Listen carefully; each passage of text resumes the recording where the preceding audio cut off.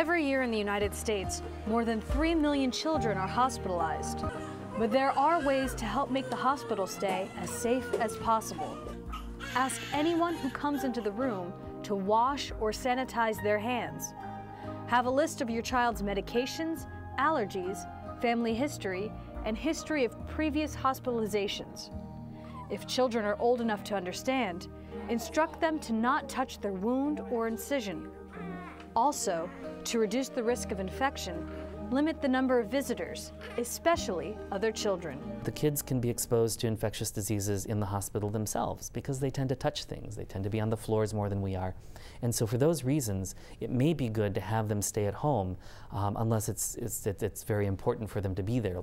I think what happens is the nurse is very much aware of um, the vulnerability of these infants and children until they've had all their vaccines, until their complete immune system has developed. Your newborn's first checkup will happen in the hospital.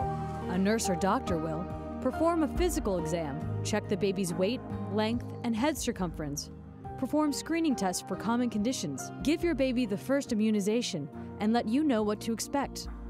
Offer advice about things like breastfeeding, diapering, and sleeping. Answer your questions and address any of your concerns. Nursery personnel are highly trained in the care of newborns, but it's important for you to feel comfortable asking them any questions that might arise about the baby's care or condition.